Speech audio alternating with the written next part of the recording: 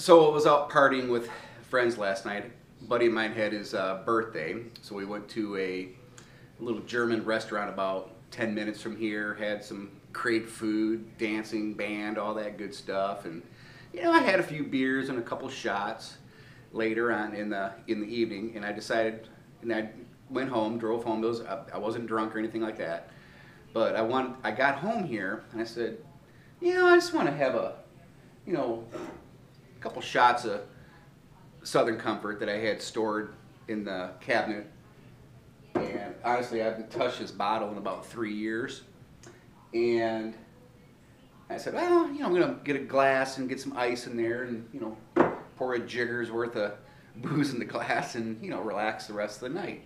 You know, see see how the storm was going in the East Coast. You know, for all the folks in Virginia and Kentucky and that neck of the woods, guys stay safe out there. I'm watching it on the news and this is crazy.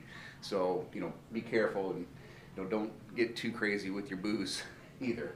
So I couldn't open this thing up. So here's the purpose of this video is to show you a life hack.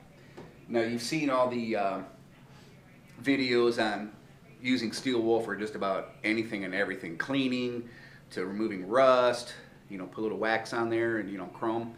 Uh, fire starter. These things are really good for fire starters. You take a battery and next thing you know you got a hot flame going on. And I found another life hack for this stuff. So the problem with this bottle was that it was, I could not get this lid off for the life of me. You know, when you want to have a drink and try to get the dang thing off. So I'm just, you know, you know, I got, I got wussy small hands anyway. So I'm trying to get this lid off, and I couldn't get this damn lid off, right? So I had one of these dealy whackers, uh, which is that lining for like cabinet drawers and stuff. So I was, you know, I pulled this on here, and I still couldn't get the damn thing off. I was like, what do I have to do? Break the damn neck off this thing to get a to get a drink? So I was fishing around in my drawers, and I found a piece of steel wool. And lo and behold, I said, well, what the heck, I'll try it. So I put the steel wool on the top of this lid and just and, and grabbed it and man, I tell you, that came off like easy. I couldn't believe it.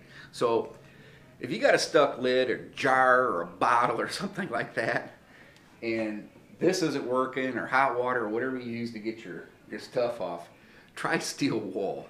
I swear to God, this this will this will do it.